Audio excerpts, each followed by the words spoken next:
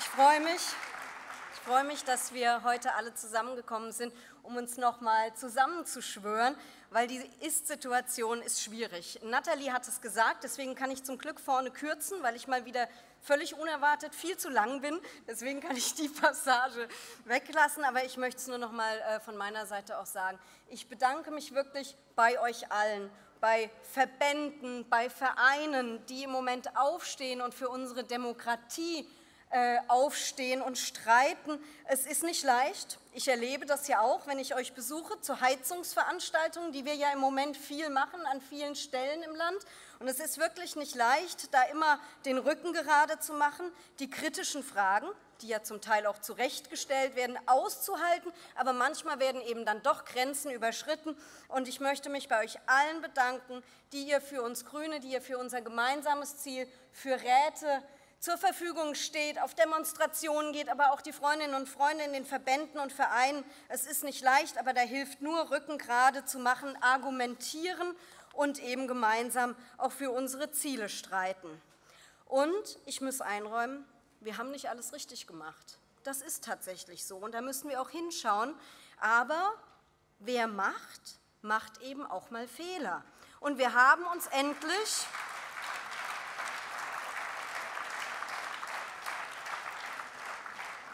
Und wir haben uns endlich auf den Weg gemacht, dieses Land, Deutschland, auch ein Stück weit aus der Starre der letzten Jahrzehnte zu, zu befreien und die Krisen anzupacken, die ja eben da sind und uns vorzubereiten. Und wir haben tatsächlich viel erreicht und wir neigen ja dazu, immer dahin zu schauen, was nicht gelingt und uns im politischen Streit und in der Auseinandersetzung zu ergehen. Aber ich will einfach heute auch noch mal darauf hinschauen, was gut läuft, um uns auch noch mal Mut zu machen für die nächsten sieben Wochen. Und wir Grüne, wir haben eben einen klaren Kompass, was das Ziel unseres Tuns ist und dass wir nämlich auch in 50 Jahren noch gut auf diesem Planeten werden leben können. Und diese Frage schließt natürlich viele Politikfelder ein. Den Klima- und Umweltschutz, klar, da werde ich gleich was zu sagen, aber natürlich auch die Frage von Krieg und Frieden, aber eben auch die Frage von gesellschaftlichem Zusammenhang und Gerechtigkeit. Und weil wir eben einen klaren Kompass haben, setzen wir jeder aus seiner Ebene die Segel so, dass wir diesem Ziel ein bisschen näher kommen. Und deswegen möchte ich mich einfach auch mal bei euch bedanken für die gute Zusammenarbeit. Da ist zunächst mal Jutta, für die wir heute hier ja auch noch mal stehen und uns einschwören. Natürlich, dass wir in Europa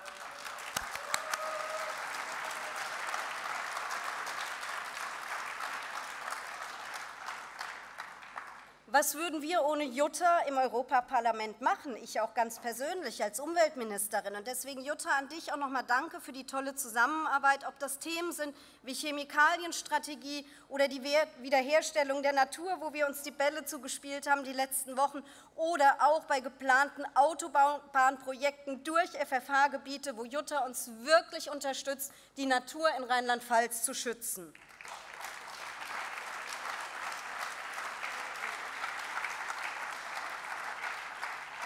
Und Tobias hat es gesagt, das Schönste, aber auch gleichzeitig das Anstrengendste, was man machen kann, ist grüne Kommunalpolitik.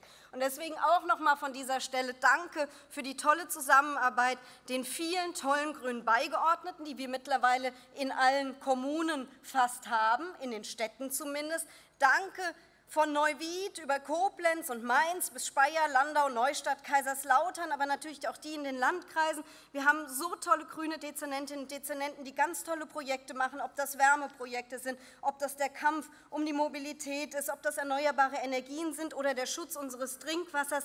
Danke für die tolle Zusammenarbeit. Und es geht natürlich weiter. Die Bundestagsabgeordneten, die Landtagsfraktion der LAFO, Katharina und Janosch, Danke dafür, weil nur Zusammen können wir eben diese grünen Projekte auch umsetzen. Und warum tun wir das denn? Nicht, weil wir Grüne uns so toll finden. Nein, wir haben die Situation, dass in Rheinland-Pfalz der Klimawandel da ist. Wir sehen das im Wald und wir sehen das am Wasser. Wir haben 1,7 Grad mittlerweile in Rheinland-Pfalz überschritten. Und diese Woche gab es eine Studie, ich weiß ja nicht, wer die gelesen hat, dass der Klimawandel ein Treiber für die Inflation ist. Und Mitinitiator dieser Studie war die EZB, die schließlich nicht im Verdacht steht, eine grüne Vorfeldorganisation zu sein. Und Und das Ergebnis ist 3,2 Prozentpunkte jährlich Kostensteigerungen für die Lebensmittel bis 2050. Die Schäden des Klimawandels sind sechsmal höher als die Vermeidungskosten zur Begrenzung der globalen Erderwärmung auf 2 Grad. Und trotzdem ist der konkrete Klimaschutz immer wieder schwierig. Aber ich habe ja gesagt, ich will mal einen Blick auf die Erfolge werfen. Wir haben die Bremsen gelockert.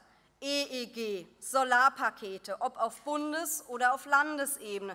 Wir haben Gesetze und Verordnungen gestrickt, um die erneuerbaren Energien zu erleichtern. Und es fängt an, Wirkung zu zeigen. Ich habe ja gesagt, wir haben 1000 Megawatt letztes Jahr überschritten, das Ziel aus dem Koalitionsvertrag. Das ist vor allen Dingen die Photovoltaik, ja.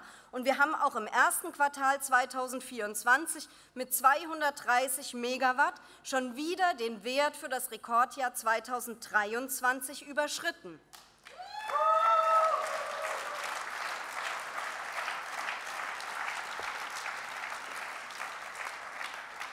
Und wir haben den Atomausstieg geschafft und trotzdem so wenig Kohlestrom wie seit 1965 nicht mehr erzeugt. Und die CO2-Emissionen im Energiebereich sind gesunken, die Erneuerbaren sind auf dem Höchststand. Es ist also nicht das eingetreten, was viele befürchtet haben. Der Blackout, die Atomkraftwerke sind weg. Nein, das haben wir geschafft. Und was machen wir jetzt hier in Rheinland-Pfalz? Wir machen unsere kommunale Klimaoffensive. Das heißt, wir machen mit dem Kommunalen Klimapakt erst die Beratung der Kommunen und dann schütten wir viel, viel Geld aus. Ich muss es einfach noch mal sagen, 250 Millionen Euro KIPKI und alleine Lahnstein erhält dafür 530.000 Euro. Wir haben, gestern war ich in Speyer, mittlerweile 125 Millionen Euro bereits beschieden.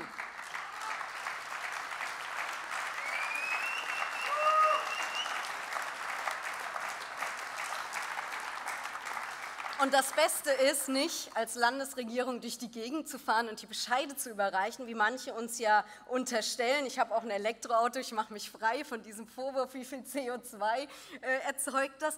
Das Beste an Kipki war doch, dass jeder Stadtrat, jede Kommunalverwaltung, jeder Gemeinderat endlich mal gezwungen war, über Klimaschutz nachzudenken und Klimaschutz auch umzusetzen.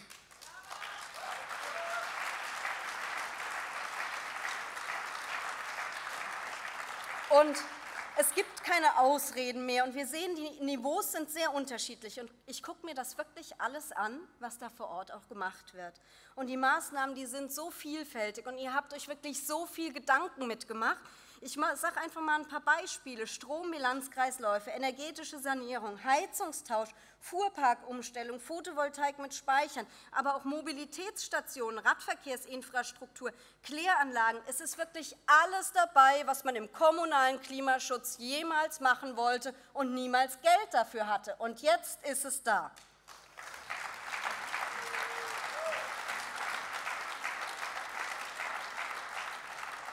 Der Gebäudesektor. Ich habe es schon gesagt, wir machen viele Heizungsveranstaltungen mittlerweile. Und das war wirklich äh, furchtbar letztes Jahr. Die politische Debatte war furchtbar. Wir haben da auch Fehler gemacht. Aber der Einstieg ist gefunden.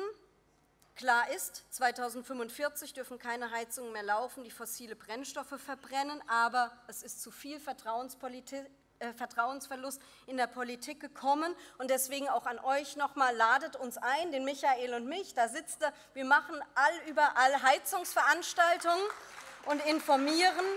Es gibt, es gibt so gute Fördermittel wie noch nie, wirklich auch für den kleinen Geldbeutel. Und das müssen wir jetzt ins Land tragen. Keiner muss Angst haben, seine Heizung rausreißen zu müssen aber wir haben uns auf den Weg gemacht. Und jetzt kommen wir zu dem Sektor, es ist ja schon angesprochen worden, der uns wirklich große Bauchschmerzen macht, der Verkehrssektor.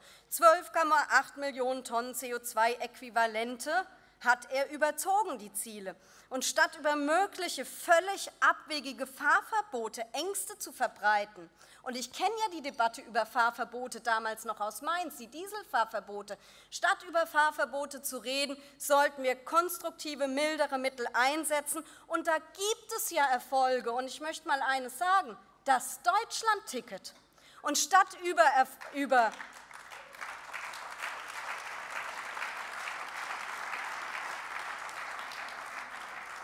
Und statt über Fahrverbote zu philosophieren, sollte doch Christian Lindner lieber mal die Mittel freigeben für die Übertragung von 23 auf 24. Und der Bund sollte auch endlich mal sagen, dass es weitergeht 2026 mit dem Deutschlandticket.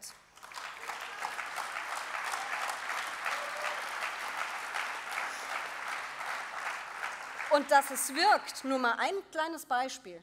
Wir haben endlich ein Jobticket bei der BASF und in Kombination dazu wird vor Ort auch mit Unterstützung des Landes der ÖPNV ausgebaut. Und ich möchte einfach mal dazu kommen, weil das auch viel zu sehr nicht gesehen wird.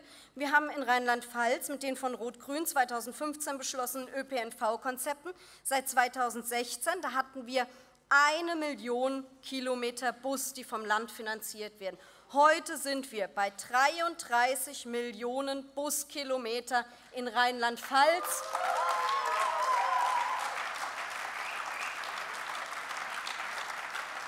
Und das sind nur die Landeslinien.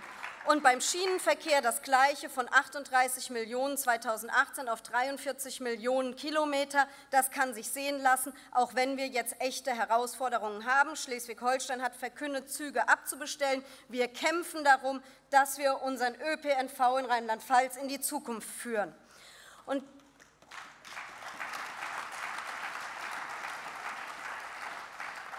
und den Schutz der Arten und Natur, da will ich nur ganz kurz was dazu sagen, weil das wird bestimmt Jutta gleich machen und ganz profund. Mich hat, ich will nur eine kleine Sache, Sache sagen, wegen zusammen geht es besser. Mich hat in den letzten Wochen wirklich umgetrieben und beschäftigt die Berichterstattung in der Zeit in der über die angebliche Entfremdung zwischen den Umweltverbänden und den Grünen berichtet wurde. Und wer mich kennt, weiß auch, diesen Artikel schleppe ich fast jeden Tag mit mir rum und brüte darüber, wie man das wieder ändern kann oder was man tun kann. Und deswegen ist es mir so wichtig, dass wir wirklich überall, wo wir sind, den Rücken gerade zu machen für unseren grünen Kern, den Arten- und Naturschutz, weil ohne Artenvielfalt ist die Frage, ob wir auf diesem Planeten noch leben können, beantwortet. Wir werden es nicht können. Und deswegen bin ich auch richtig, schöne Grüße, heute ist 70. 70. Geburtstag des NABU Rheinland-Pfalz, schöne Grüße dorthin.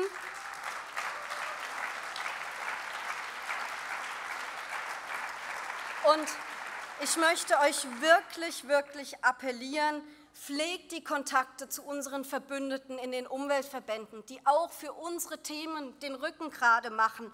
Und deswegen freuen wir uns, dass ich auch ankündigen kann, dass wir im nächsten Monat endlich mal wieder hier im Norden in Rheinland-Pfalz mit einem wunder, wunderschönen Buchenwald ein großes Schutzgebiet werden auswirken können, was lange Jahre in Rheinland-Pfalz nicht mehr passiert ist.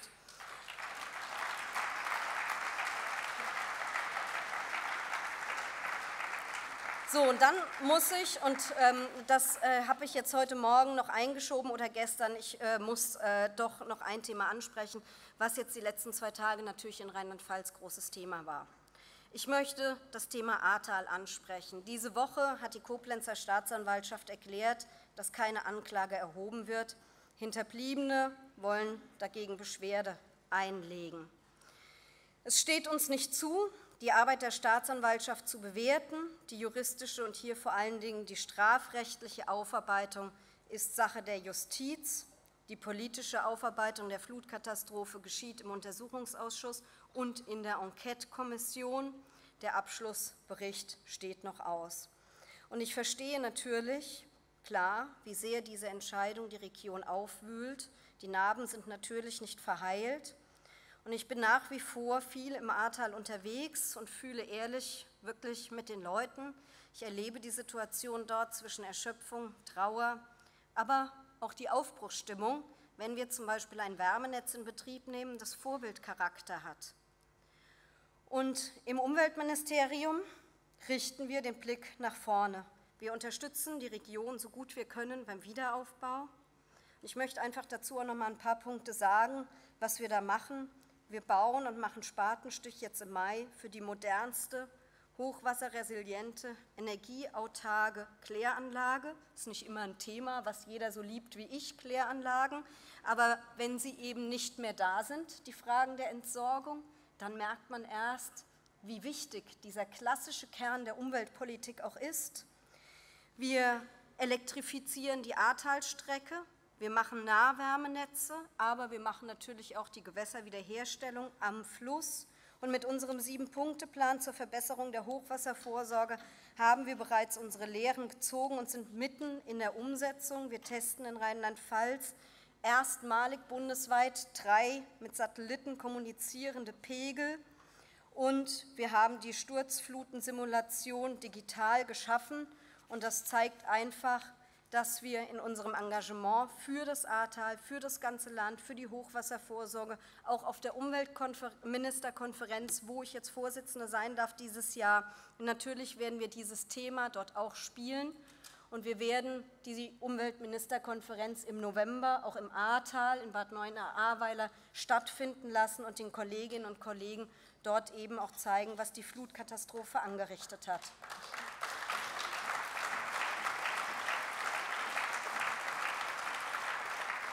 Ja, liebe Freundinnen und Freunde, das war jetzt zu meinem Haus. Wir haben aber natürlich auch Duftmarken und Akzente in anderen Bereichen setzen zu können. Und deswegen gilt mein Gruß von dieser Stelle natürlich auch an Katharina. Alles Gute.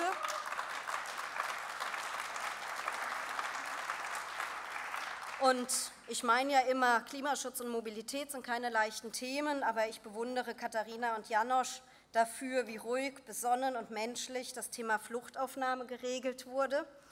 Und natürlich wurden die Mittel des Bundes weitergeleitet und es war auch eine große Leistung, 200 Millionen Euro Landesmittel im Jahr 2024 für die Kommunen noch einmal zur Verfügung zu stellen, um eben Fluchtaufnahme und damit bedingt natürlich auch Integration menschlich gut stemmen zu können. Und Katharina und Janosch werden außerdem das Integrationskonzept des Landes weiterentwickeln, um hier eben auch nicht stehen zu können. Und neben dieser Herkulesaufgabe laufen hier auch ganz viele andere Themen, wie den Pakt gegen sexualisierte Gewalt oder das Selbstbestimmungsgesetz des Bundes hat auch von Rheinland-Pfalz aus seinen Anfang gemacht. Ihr seht also,